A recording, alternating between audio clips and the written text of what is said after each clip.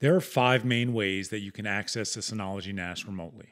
In this video, we're going to look at those top five ways. We're going to look at some pros, cons, and some best practices you can follow depending on which option you'd like to use. Before we get started, I want to make clear that the requirements that you have generally determine which option is best. So, one option is not always best. You will have to determine what your requirements are, what exactly you're trying to do, and then go from there. And that's why we're going to look at each option here and we're going to determine what option makes the most sense based on exactly what you're trying to do. So, to get right into it, the first option is DDNS. The pros of DDNS are faster transmission speeds, customizable ports, and in unique situations, this might actually be your best option.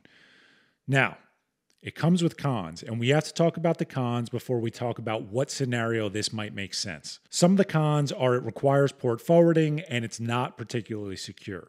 So if you can't port forward, meaning you're not either your ISP doesn't allow it or you can't do it on your router, you cannot use DDNS if you want to access your NAS remotely. Not an option. From a security perspective, it's not the most secure, mainly because you're specifying a port that you'll be port forwarding. And if you use one of thousands of port checkers online and you determine which ports are open on a specific network, you could theoretically get to the DSM login page, assuming that you're actually port forwarding the DSM port. But you could theoretically get to the DSM login page just by knowing which ports are open on a specific network. That's why it's not necessarily secure. So let's say you do want to use DDNS. Here are some best practices that you can follow. The first is that you should change the default ports. So the default ports for Synology are 5000 and 5001 for HTTP and HTTPS. You should change those. Make it anything else. It doesn't matter what you use. You just have to make sure that it's something different than those default ports. The second thing, definitely enable two factor authentication. Very easy to set up, something that you must do. Third thing, consider exposing individual services as opposed to DSM. So in Synology DSM 7, there are login portals for various services Active Backup for Business, Audio Station, File Station, Synology Drive. These are just some of the services I have installed on my NAS right now. But you can expose various services and that specific login portal by specifying an individual unique port for that service and then port forwarding that service only. That will allow you to access, say, Synology Drive or Synology Photos and not have to expose all of DSM. You do not want to expose DSM if you don't have to. Now, the fourth suggestion is the most important suggestion. You should be using Synology's firewall. And this is where the use case for DDNS can potentially make sense. Let's assume you want to expose your entire NAS to a friend of yours or a family member. You don't necessarily need to set up anything else and you just want them to access your NAS remotely. Let's assume that they have an external IP address that is static, meaning it doesn't change. You can use Synology's firewall to limit down the IP address that can access DSM on that specific port to that one IP address and that one IP address only. Now, a lot of people would say that DDNS is the least secure option that you can use, but if you only allow that one IP address, there's one IP address in the world that can access the NAS. Is it still unsecure? Probably not. This is done in enterprise environments everywhere. You're limiting the scope down from the entire world to an individual IP address or a range of IP addresses. And at that point, the only people that can access it on that specific DDNS host name and port would be that range of IP addresses. So if you're using DDNS, you have to use Synology's firewall. From a security perspective, that is the best way that you can protect yourself using these best practices if you intend on using DDNS. Now, the next option, which is very similar to DDNS, is a reverse proxy. What a reverse proxy allows you to do is expose multiple services on an individual port. Generally, that port is 443. That's its main pro, but there are other pros as well. Almost all of the DDNS pros in terms of speed and performance are the same. However, you have an added security benefit of requiring that the user knows the subdomain that you're using to access that service. For example, if a user knows with DDNS your external IP address and the ports that you have open, theoretically, they can go to that external IP address as well as the port and access whatever service is exposed. However, with a reverse proxy, they must know the exact subdomain that you're using or they're going to be brought to a generic page. Another potential benefit if you're using your own domain is that you can use Cloudflare. I'm not really going to get into it in this video, but if you own your own domain and you are using a reverse proxy, look into Cloudflare and see if it makes sense for you. Now, the cons of a reverse proxy are that you're still exposing your NAS to the outside world. That is unfortunately a con. But some best practices that you can follow is to limit the scope of who can access that service the same way you would using DDNS and Synology's firewall. But the firewall is slightly different if you're using a reverse proxy, mainly because you're generally exposing multiple services. So let's say you're exposing Synology Photos and Synology Drive as an example using DDNS you can limit the firewall down to the specific IP addresses that you want to access it because they have their own port. If you're using a reverse proxy, they're both using the same port.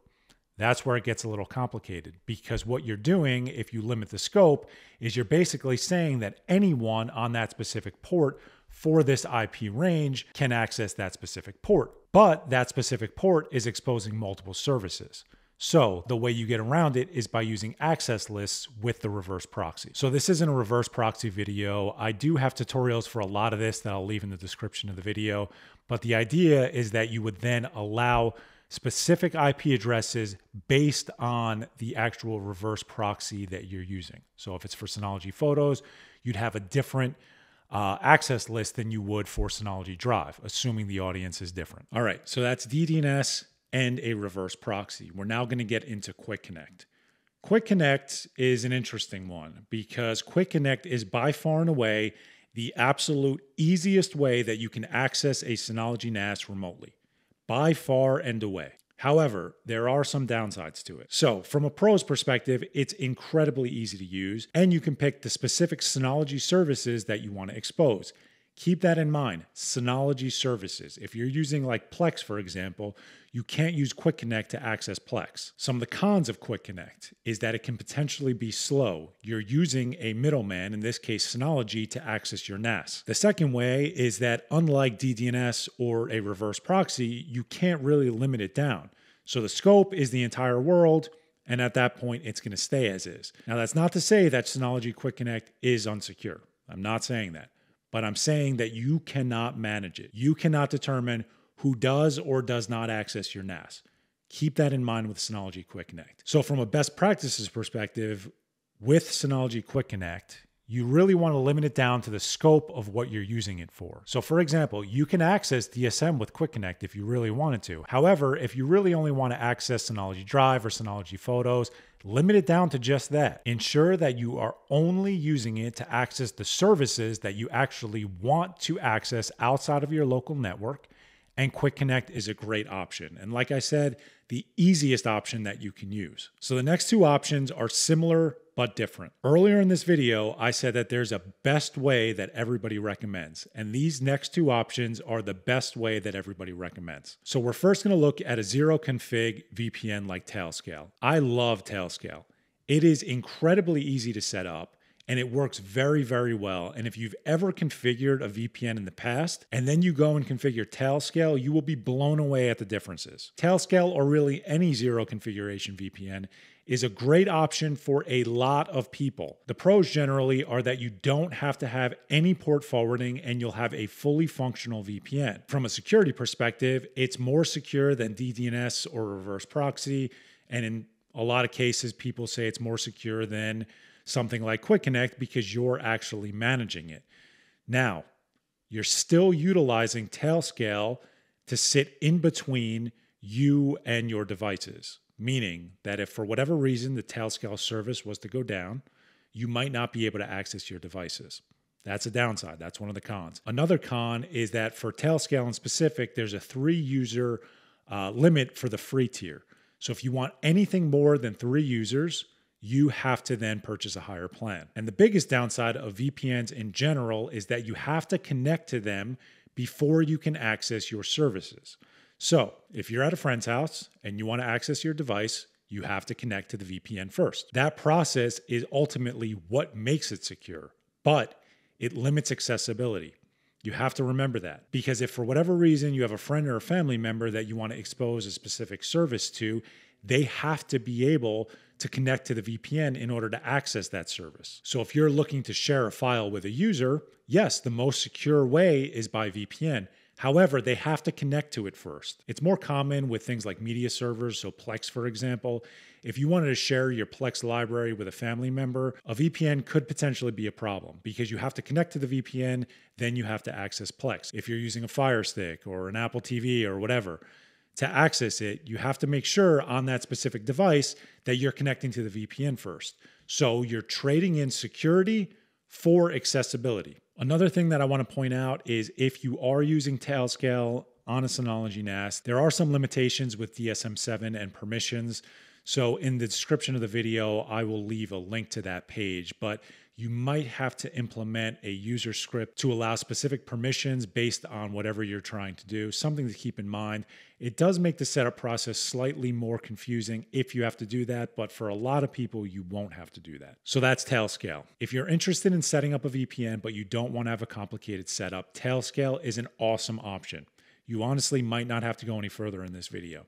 But if you want to look at self hosted VPN options, the two main ones that you'll consider are most likely WireGuard and OpenVPN. Now, these are fully functional VPNs, so you have to configure them. In the case of WireGuard, you have to share the keys, or OpenVPN, you have to share the configuration file with whoever you want to be able to access that VPN. The pros of it are that you'll have a fully functional VPN that you will manage. There are no third party requirements, meaning that you won't have to rely on a service like Tailscale that sits in the middle because you're connecting from point A to point B. And from a performance perspective, if you want to use a VPN, a self hosted VPN will be the best from a pure performance perspective.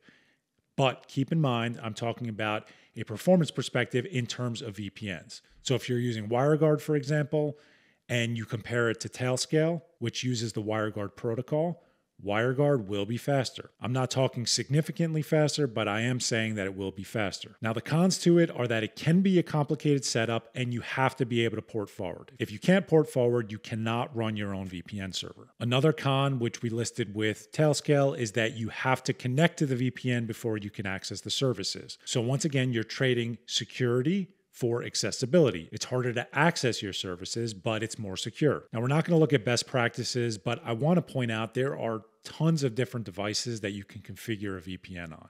So, my personal favorite is on my router. If you have a router that uses either WireGuard or OpenVPN or both, personally, I would suggest configuring it there. That doesn't mean that you have to.